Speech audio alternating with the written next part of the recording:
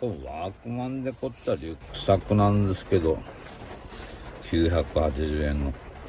ここはあの、ファスナーのあの、取っ手がですよ。両方取れてしまったんですよね。